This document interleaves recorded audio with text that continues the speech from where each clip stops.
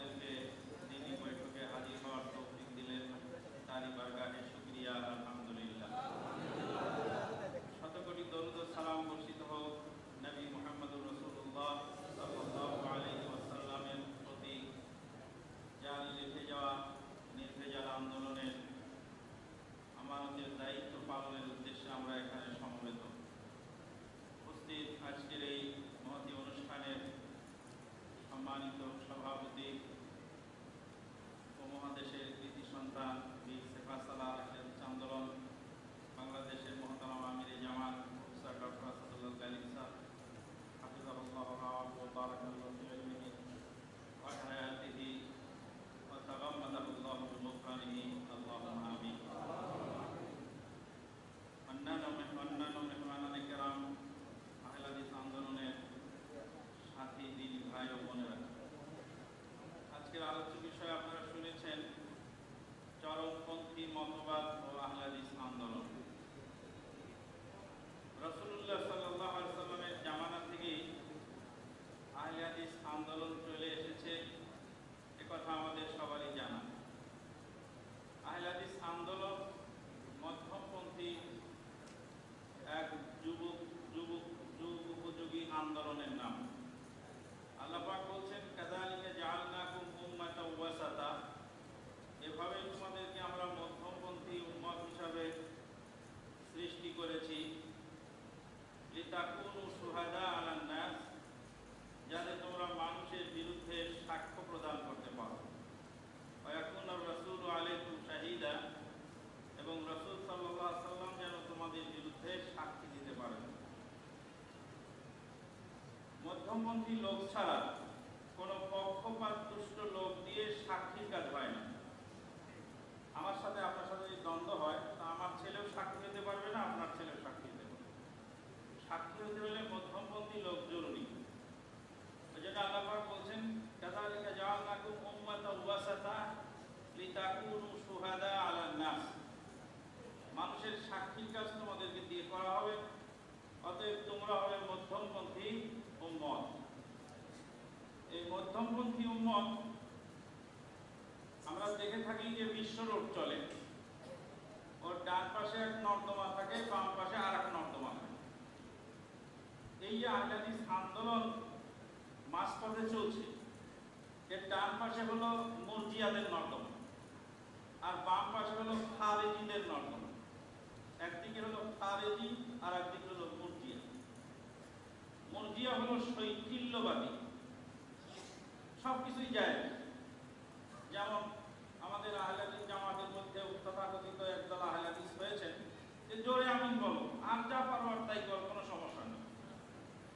এরা হলো মুরজিয়া আকিদায় বিশ্বাসী। হালাল খাও, হারাম খাও, ভালো করো, মন্দ করো, অন্যায় করো, ন্যায় করো, কোনো সমস্যা নেই। খালি জোরে আমি বলবে পিঠের উপর টাইট করে হাত ধরে, তাহলে হলো শৈথিল্যবাদী আছে আর শৈথিল্যবাদী হলো মর্জিয়া আকিদায় বিশ্বাস। আর চরমপন্থী যারা, তারা খারেজি খারেজি প্যারালালে আরেকটা আছে, সেটা হলো রাফেজি রাফেজি এবং খারেজি এটাও তিনটি বিষয়। মর্জিয়া শৈথিল্যবাদী, এদের কারণে যেমন জিহাদের অপব্যাখ্যা করে, মুসলমানদের ইমান ও আকিদাকে নস্বাত করে, জিহাদি জজবাকে একদম চিরতলে নির্মূল করে দিয়েছে। হলো শৈথিল্যবাদী মুরগিয়াদের কারণ। আর খারেজিরা জিহাদের অপব্যাখ্যা করে, মুসলিম জাতিকে ইসলাম বিরোধী কাজ উৎসাহ দিয়ে, উস্কানি দিয়ে ওটা মুসলিম বিশ্বকে ক্ষতিগ্রস্ত করেছে যা মক্কান ইমাম সাহেব সেদিন খোদবার মধ্যে বললেন, ওই যে আটষট্টি মিলিয়ন লোক মারা গেল, আটষট্টি মিলিয়ন লোক মারা গেল দুই যুদ্ধে, দুই বিশ্বযুদ্ধে। এক বিশ্বযুদ্ধে আঠারো মিলিয়ন আর আর এক বিশ্বযুদ্ধে পঞ্চাশ মিলিয়ন। মোট আটষট্টি মিলিয়ন লোক মারা গেল যাদের কারণে দুই যুদ্ধে।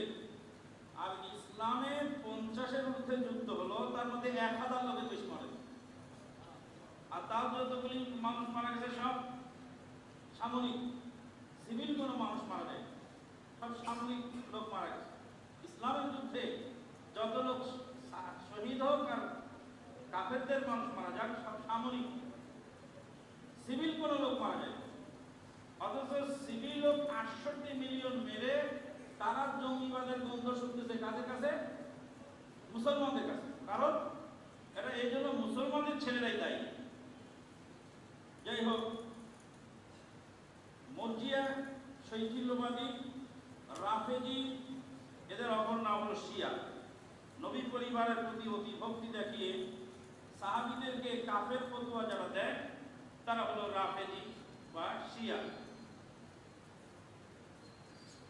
খারিজিদের প্রধান আকিদা হলো মুসলিমদেরকে কাফের মনে করা। যে কোনো মুসলিমকে কাফের মনে করা হলো খারিজের প্রথম আকিদা। রসুল্লাহ সাল্লাহ সাল্লাম বলছেন, কোনো মুসলিমকে যদি কেউ কাফের বলে, আর সে যদি কাফের না হয়, তাহলে অবশ্যই যে বললে সে কাফের হয়ে যাবে। কত ভয়াবহ ব্যাপার। ওই জন্য নবী সাল্লাল্লাহু আলাইহি ওয়াসাল্লাম এই খারিজিদেরকে বলেছেন হুম কিলাব ওয়া হিন্নার জাহান্নামীদের কুকুর ওলামায়ে কেরামগণ বলছে খারিজের খারিজিদেরকে নবী সাল্লাল্লাহু আলাইহি ওয়াসাল্লাম কুকুরের সাথে তুলনা করলেন কেন মহাদেশিনে কেরামগণ ব্যাখ্যা করছেন যে খারিজিদের কাজ হলো যাকে তাকে কাফের বলা আর কুত্তার কাজ হলো যাকে তাকে তাকে থেকে ঘেউ ঘেউ করা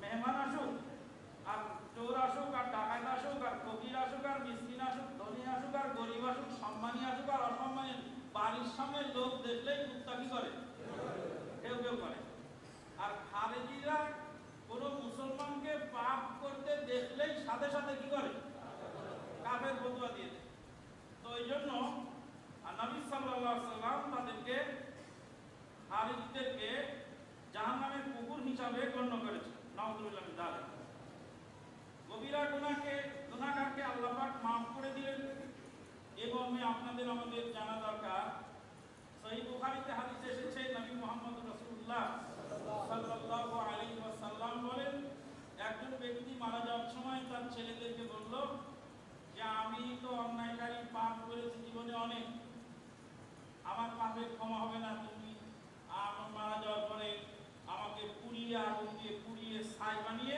অর্ধেক ছাই পানিতে ফেলে দিও আর অর্ধেক ছাই বাতাসে উড়িয়ে যাতে আমার আল্লাহ আমাকে ধরতে না পারে। এই আকিদা বিশ্বাস এবং এই আমল নিয়ে ইনি মারা গেলেন, আল্লাহ পাক তাকে ক্ষমা করে দিলেন।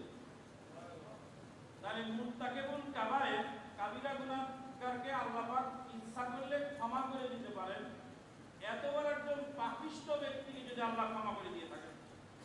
বুখারীতে আরেকটি হাদিস আসছে যে একজন লোক বলল আল্লাহ আনতে আব্দি ওয়া আনা রব্বুক।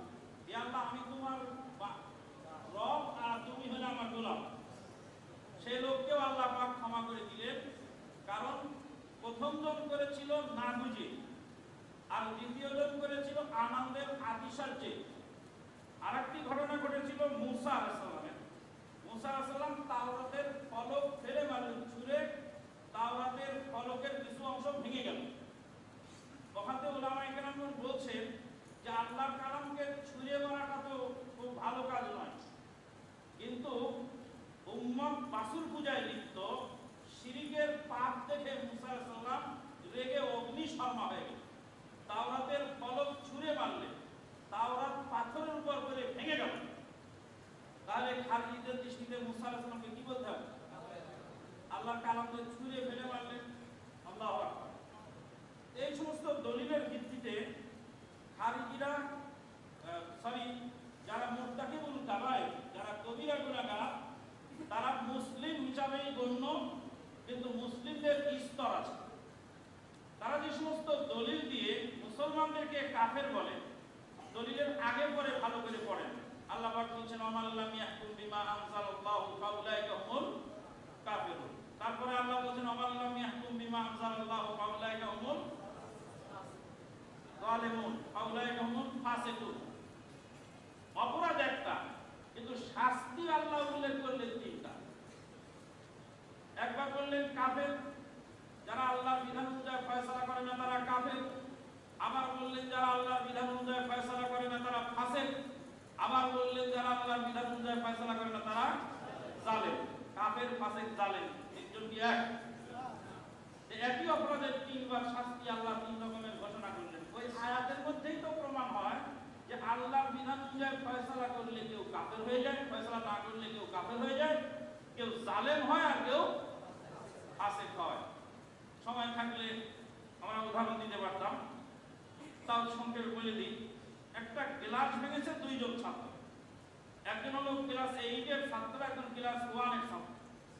ক্লাসের দাম একই, দুইজনের শাস্তি কি সমান? দুইজনের শাস্তি যেমন সমান না হয় স্টুডেন্ট স্টুডেন্ট ভেরি হয় ওরকম ম্যান টু ম্যান ভেরি হবে। মানুষের জ্ঞান, পরিমাণ, বুদ্ধি, বিবেচনা এবং তার লেখাপড়ার দক্ষতা, যোগ্যতার কারণে। এই কারণেই আল্লাহ রাব্বুল আলামিন একই অপরাধের শাস্তি তিনবার তিনটা ঘোষণা করেছে তাহলে কেউ আল্লাহ বিধানের বাইরে ফয়সালা দিয়ে কাফের হবে, কেউ জালেম হবে, কেউ ফাঁসে হবে। কিন্তু যারা মুসলিমকে কাফের বলে খুব সতর্কতার সাথে লক্ষ্য করলে দেখা যায় তারা নিজেরাও কিন্তু তাদেরকে মুসলিম হিসাবেই গণ্য করে।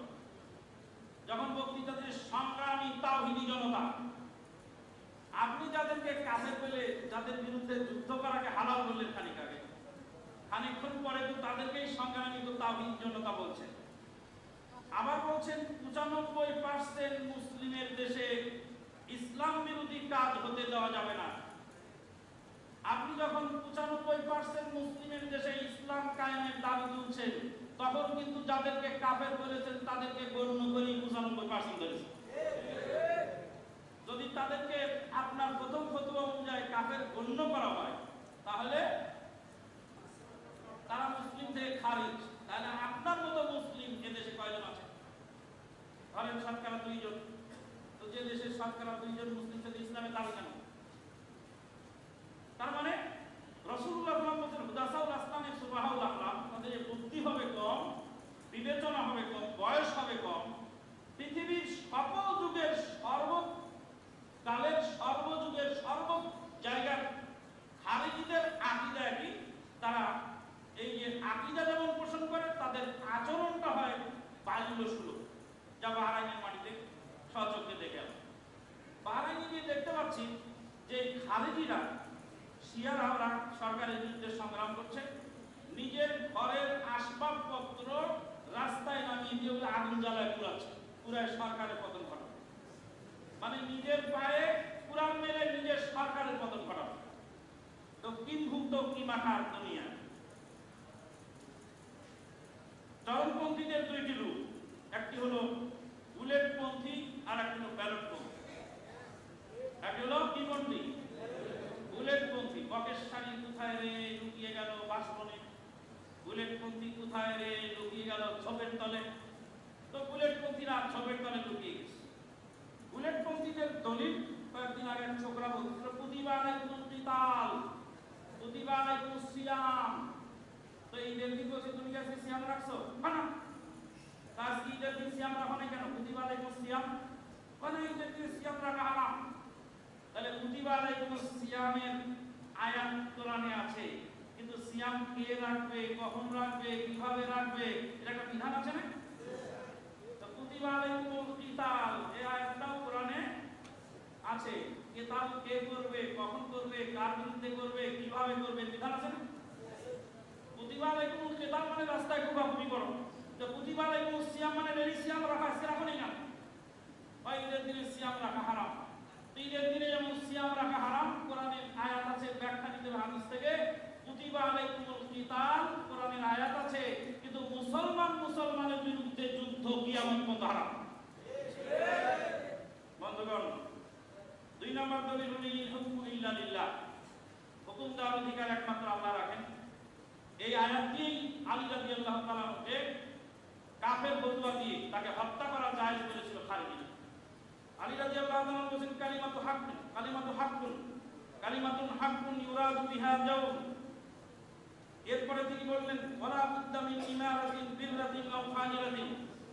ইমারতের মধ্যে নেককার লোক আসবে, বদকার লোক আসবে এই স্বাভাবিক। ব্যালট ব্যালটপন্থীদের বক্তব্য হল যেন তেন প্রকার যেভাবে ক্ষমতা দখল করা আগে জরুরি। তাই তাদের ধর্মীয় কোনো যিনি এই ব্যালটের মাধ্যমে ইসলাম কায়েম করার স্বপ্ন দেখে থাকেন। তিনি অনেক আগেই ঘোষণা দিয়েছেন গেছেন তিন দ্বারা হুকুমত কা নাম হয় শরীয়ত হুকুমত কানুন দাবে তাকে পাবন হয় দিন আসলে ক্ষমতা দখলের নাম। ক্ষমতা দখল করলে দিন কায়েম হয়ে গেল। একজন ক্ষুধার্ত ফকিরকে বলা হয়েছিল, এক আর কত? তো বলছে, এক আর দুই রুটি। বলছে, এক আর দুই? দুই রুটি কেন বলছে না এক আর একে দুই রুটি ক্ষুধার্ত ফকিরের রুটি ছাড়া আর কি আছে ক্ষমতার লোভে যারা লিপসু ক্ষমতার জন্য যারা পাগল পাড়া তারা দিন দরাসল হুকুমত কা নাম হয় এ কথা বলা ছাড়া তাদের কোনো উপায় নেই ঐতিহাসিক পটভূমিকে আমরা দেখতে পাই। এই খারিজের বিরুদ্ধে আন্দোলন শুরু হয়েছে। আমিরুল মোমিনিন আলী ইবনে আবি তালিব রাদিয়াল্লাহু তাআলা আনহুর জামানা থেকে। চরমপন্থীদের বিরোধিতা আলী ইবনে আবি তালিব রাদিয়াল্লাহু তাআলা করেছেন চরমপন্থীদের বিরোধিতা উসমান ইবনে আফফান রাদিয়াল্লাহু তাআলা করেছেন আলী ইবনে আবি তালিব রাদিয়াল্লাহু তাআলা আনহুর নির্দেশে আব্দুল্লাহ বিন আব্বাস রাদিয়াল্লাহু তাআলা আনহু খালিদের সাথে যথাযথ মুনাজারা করেছিলেন। সেখানে তারা তিনটি দলিল দিয়েছিল। এক নম্বর দলিল হলো আলী ইবনে আবি তালিব আমিরুল মুমিনিন হলেন না কেন? আব্দুল্লাহ বিন আব্বাস রাদিয়াল্লাহু তাআলা বললেন, নবী মুহাম্মদুর রাসূলুল্লাহ সাল্লাল্লাহু আলাইহি সাল্লাম হুদায়বিয়ার সন্ধির সময় মুহাম্মদুর রাসূলুল্লাহ শব্দটা বিলুপ্ত করেছিলেন। ইনিল হুকমু ইল্লা ইল্লা লিল্লাহ। আল্লাহ ছাড়া হুকুম দেওয়ার অধিকারী কেউ নেই। অতএব সালিসি বৈঠক বৈধ নয়। তিনি দলিল দিলেন ফাবাসু হাকামুন মিন আহলিহি ওয়া হাকামুন মিন আহলিহা। এরপরে গনিমত বণ্টন কেন করা হলো না? আব্দুল্লাহ বিন আব্বাস রাদিয়াল্লাহু তাআলা বললেন, মা আয়েশা সিদ্দিকাকে গনিমত হিসাবে কে গ্রহণ করতে চাও? মহতারাম আমির জামাতের আলোচনার মাধ্যমে আমরা শুনতে পেলাম জমহুরিয়াত তথা গণতন্ত্র। গণতন্ত্র মানে পাগলের গোলাম।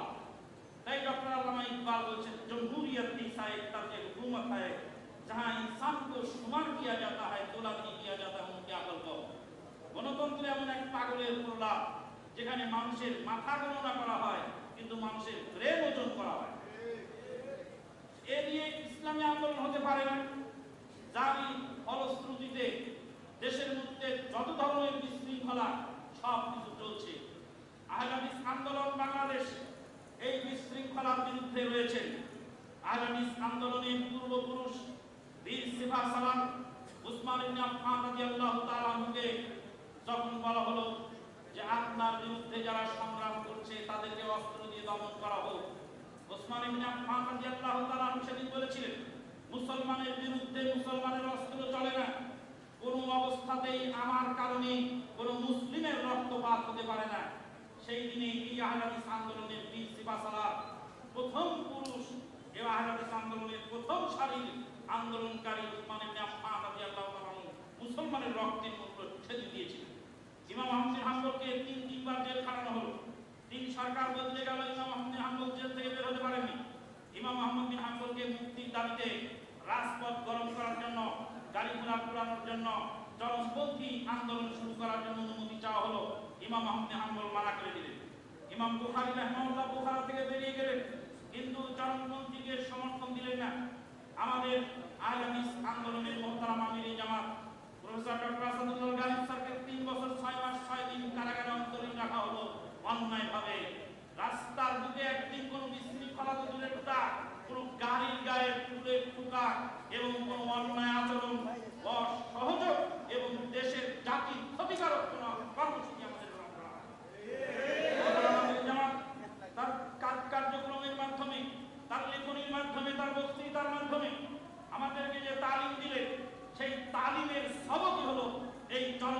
আন্দোলনের বিরোধিতা আহলাদিস আন্দোলন যত বেগবান হবে, চরমপন্থী, নরমপন্থী গরমপন্থী শৈথিল্যবাদী, বামপন্থী, রামপন্থী, সব পন্থী মুক্ত করে বলবে ইনশাআল্লাহ আসসালামু আলাইকুম ওয়া রাহমাতুল্লাহি ওয়া বারাকাতুহু।